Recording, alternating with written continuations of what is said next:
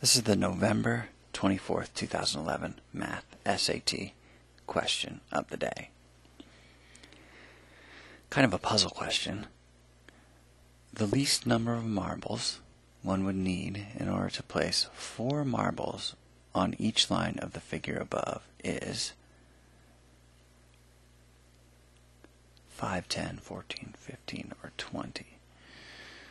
So let's see here. If I've got marbles, let's say I have red marbles, they'll look like this.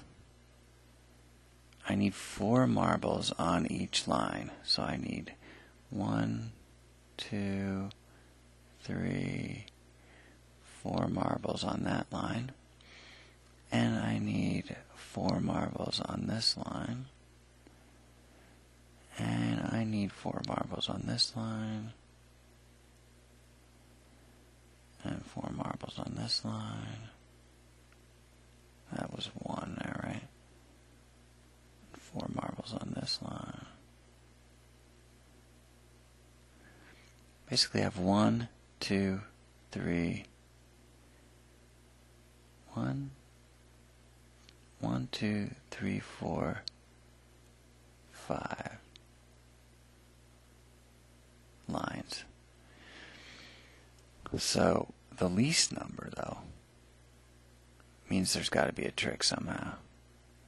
I could just put four marbles on each line, and I have five lines, and uh, and I could have twenty. Well, let's see if we can beat that. Let's take those marbles away. Now let's start thinking about this. You know, if I put a marble here, that's both on that line and that line. And if I put a marble here, that's on that line and that line.